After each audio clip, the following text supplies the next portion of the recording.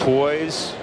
Clearance was 2012. On the gas, off the gas. That's a curveball, and Murphy swings over the top of it. Today with the six Ernie's.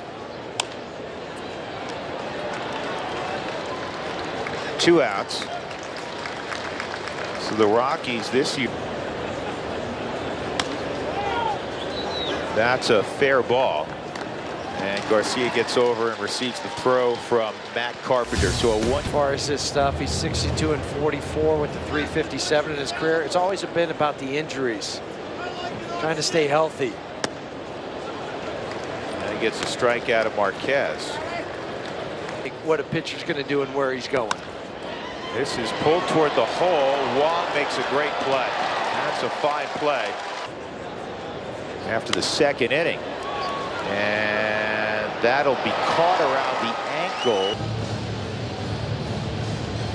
Just a little down. Toronto one nothing.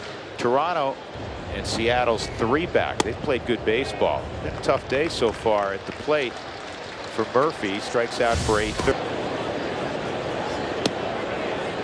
And that curveball was right there. That's a good pitch. And Garcia's tough. And Garcia's pitched well. But the good news is the Rockies have a 6 to 1 lead as we go to the seventh.